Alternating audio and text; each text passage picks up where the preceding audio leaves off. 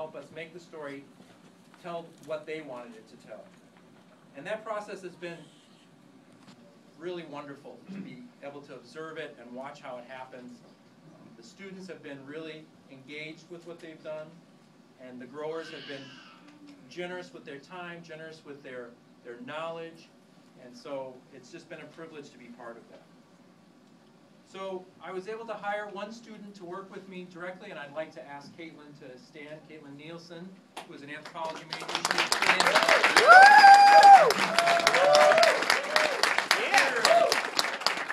She has been living in the, in the, the multimedia hub for the last couple of days to get this finished, but all through this past semester, um, she's been really putting a lot of, of her work, she has a lot of skills in editing, and I want her to speak for a, a moment. Hi, everybody. Um, if you haven't met me, my name is Caitlin Nielsen, and I have to admit, I've probably seen every food documentary that exists at least three times. But I have to admit that this is probably my favorite. my bias comes from the fact that so many people participated in the making of this film that I respect and care about.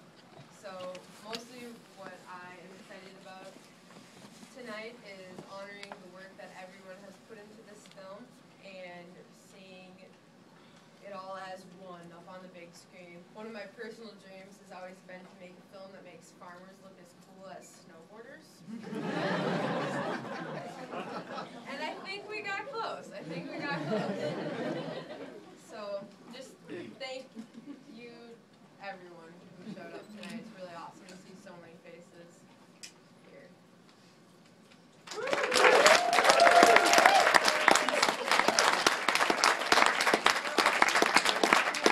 I do want to just say a couple of other quick thank yous, and then we'll just get on with the film. Uh, I do want to thank the